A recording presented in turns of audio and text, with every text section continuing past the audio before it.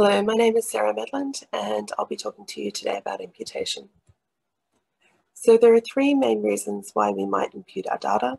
The first of these being meta-analysis, or combining our data with that of another cohort. Secondly, fine mapping, and I'll give an example of that in just a moment. And thirdly is to combine data from different chips. So imagine a situation where you have a large cohort, which is being genotyped half on chip A and half on chip B. If we were to put the data from these two chips together and analyze them, we would end up with a mixture of power distributions. So we would have some SNPs that are on both chips, and they would be the most powerful SNPs in the analysis compared to those that are on one chip or the other. If we were to take this forward for analysis and look at our QQs and Manhattans, we would have a very hard time interpreting those results because of that mixture of powers. So if we were to find an association and go in and look at the region, we could expect that the distribution of p-values wouldn't follow what we would expect based on the LD or the autocorrelation structure within that region. So because we have this differential in power, the SNPs that would be on both chips would have the highest uh, power and potentially higher p-values than those that are on one chip or the other. So to get around this, what we could do is bring those two data sets together, take them forward for imputation, and end up with a data set that has a fairly constant n and um, a single power distribution that's not dependent on whether or not a chip was, a SNP was on the chip or not. Um, so we can also use imputation to correct for sporadic missingness uh, and genotyping errors or to impute in types of variation that we haven't directly genotyped, such as structural variants. Here's an example of fine mapping. And in this situation, we have run a GWAS, but we've only used genotype SNPs. And we have this uh, variant that we're finding on chromosome 19. And when we go in and have a look, it appears to be floating, so it's not really supported. We have nothing really in this region to back it up particularly well. So looking at that, it's very hard to work out if that could be a true finding or not. And one of the things we might do is fine mapping, which is to go in and uh, impute other content in that region and see whether there's additional support that we're not observing in our genotype SNPs. So when we go ahead and do that in this case, we can see that this actually is a true effect. It's well supported by SNPs in the region. It's just that these variants were not genotyped on this chip. So when we're talking about imputation, what are we actually talking about here? So we are usually starting with a genotype dataset that has missing or untyped genotypes. We have a reference set of haplotypes, so a public reference set, um, and those references are compared to our genotypes. Uh, we try and identify which haplotype best represents each segment of data and then we infer in the missing content. so to um, put this another way, we start with a genotype sample, which has uh, some genotypes but is missing others. We have a set of reference haplotypes. What we're going to do is compare our genotype samples to our reference haplotypes, try and work out which haplotypes best represent which segments of data, and then infer in the missing genotypes. And this is done in a probabilistic way, and we can assess the accuracy of this imputation as we go. Okay, so there's a couple of steps and things we need to think about when we're setting up for imputation. So firstly, we need to have really well QC data, and this would be uh, similar to the QC that you were shown in the QC and GWAS segment from yesterday. Secondly, we need to decide which of our references we want to use. And um, we are in the situation where we now have quite a lot of references, so it's worth thinking carefully about why you're using a particular reference and what you're trying to do with your analysis. So um, the most common references to use at the moment are the Thousand Genome and the HRC references. The Thousand Genome reference is a multi-ethnic reference, whereas the HRC is a predominantly European reference. Um, the HapMap and Thousand Genome references can be downloaded and used locally. The other references are mainly only available from custom imputation servers. And although there is um, a wide difference in the size of the references, so for example, our 1000 genome reference um, yields around 20,000 markers, whereas our HRC, sorry, 20 million markers, whereas the HRC yields around 40 million and the TopMed yields around 300 million. At the end of the day, if you have a cohort of predominantly European individuals, you're likely to end up with between 8 and 10 million usable markers for your analysis. So once we've QC'd and um, decided on our references, the next step is to phase our data. And phasing in this case means we estimate the haplotypes within our data. So we take our genotype data, we try and reconstruct the haplotypes using reference data. And so for example, in this situation here, we have three genotypes and there are four potential haplotypes that we can arise at from that data.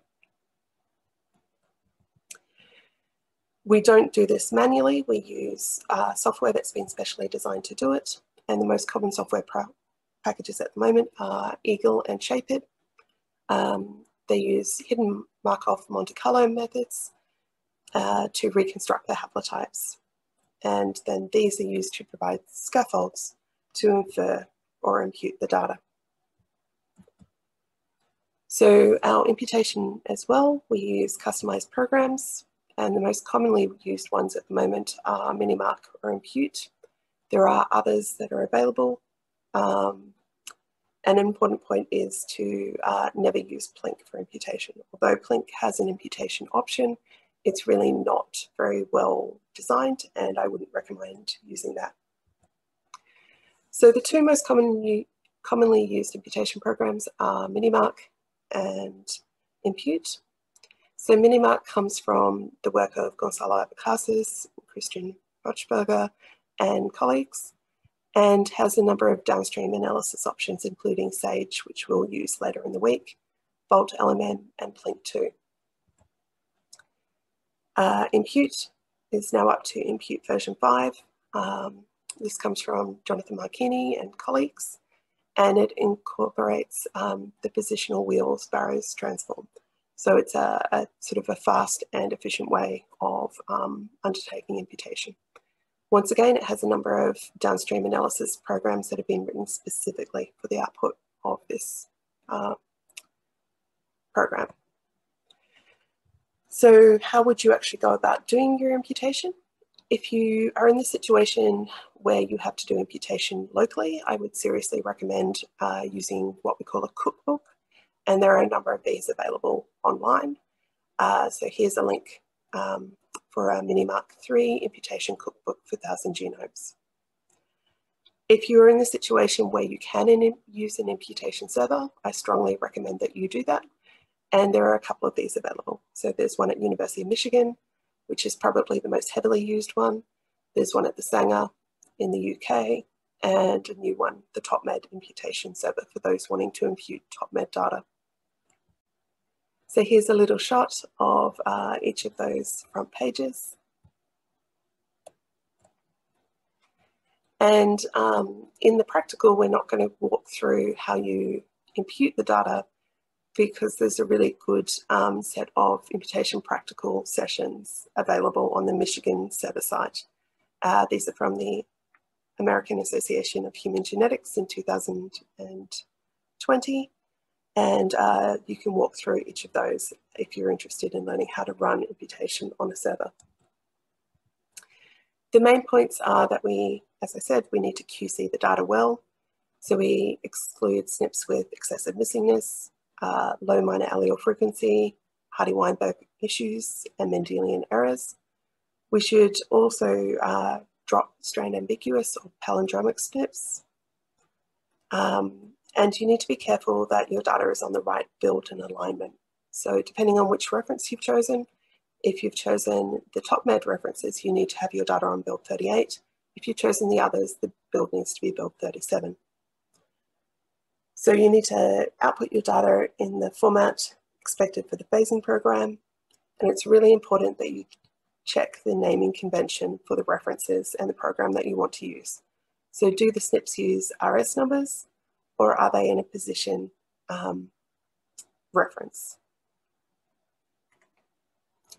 So if you're using an imputation server, once you have your data QC'd and ready to go, it really is as simple as uploading your data, picking the options that you want to use, and then submitting the job. So after the imputation, you have about a week to get your imputed data off the server, and then it's all wiped. Okay, so once we've done our imputation, if we use the Michigan imputation server, then our data is going to be in a format called a VCF format. So in this format, each line in the file represents a variant and each block of data represents an individual. The file contains our imputed data in three different formats. The first of these, before the semicolon, is a hard call or a best guess genotype, and this refers to the number of copies of the alternate allele that someone has. The second of these is a dosage format, which ranges between 0 and 2. And once again, this is a count or a, a number of doses of the alternate allele that someone has.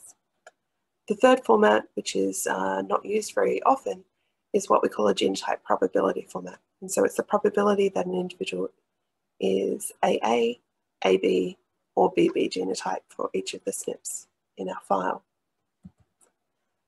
To go along with these, we have a series of info files that contain uh, the information about the imputation accuracy and the frequency of the variants in the sample. So we have our SNP identifiers, and you can see some of these get quite long.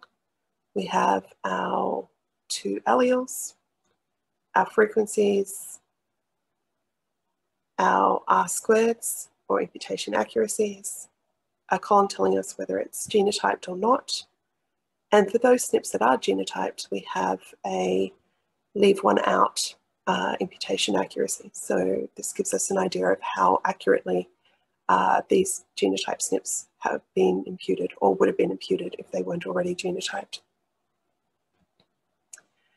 Uh, so one thing to keep in mind is there are subtle differences between the way that the different programs uh, create their R squared um, metrics.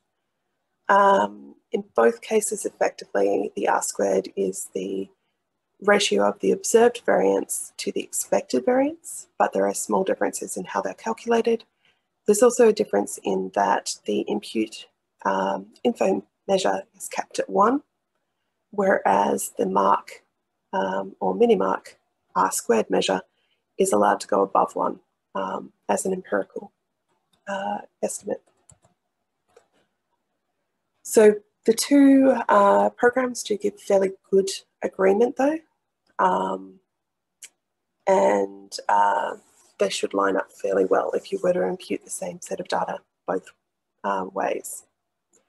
So the R squared or the um, info is telling us about the level of certainty we have in the data. So um, if we had an R squared of one, it's indicating there's no uncertainty, R squared of zero, complete uncertainty, and for example, an R squared of 0.8 on 1,000 individuals will give us the same amount of data as if that SNP had been genotyped on 800 individuals. So you can think of it that way. After we've done our imputation, uh, it's a good idea to do some QC and check that it's worked. So some things that you can do is to look at the minor allele frequency compared to the reference and see how that looks. You can also look at the R squared across the chromosome and see how that looks. So here's some toy examples of um, a relatively good imputation where you can see R squared uh, sort of varies quite markedly across the genome, but generally follows um, a fairly well um, defined distribution. Whereas this is particularly and deliberately a bad imputation, um, and you can see that we've got a very different distribution here. After uh, doing the basic imputation, it's a good idea to run a GWAS for a trait that is fairly well powered, ideally something continuous. Have a look at the lambda and look at your Manhattan and QQ plots, and then run the same trait uh, using a GWAS using only the observed genotypes and plot the imputed versus the observed um, variant results and see what you get. Um, lastly, quite often when we're running imputation, we are actually running it for a consortium, consortium or a meta-analysis. And uh, they will give you instructions about which reference panels to use and um, what to do. Um, they will probably ask you to analyse all variants regardless of whether they pass QC or not. Um, it's important to think about this, especially if you are using those TopMed references, which have something like 300 million variants, as only around 8 to 10 million of those will typically be useful for GWAS. And so you'll be running analysis and uploading um, results for many, many SNPs that won't be very useful for anyone. Okay. So if you've got any questions, uh, feel free to ask them at the start of the practical session or to post them to the Slack. Thanks very much. Bye.